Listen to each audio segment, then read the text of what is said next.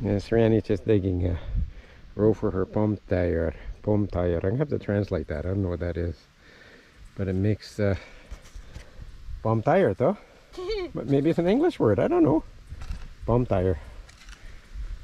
Or pomtayers here. They get their big plants and they get lots of the root. You eat the root and mix the mix it with chicken. It makes a delicious baked meal.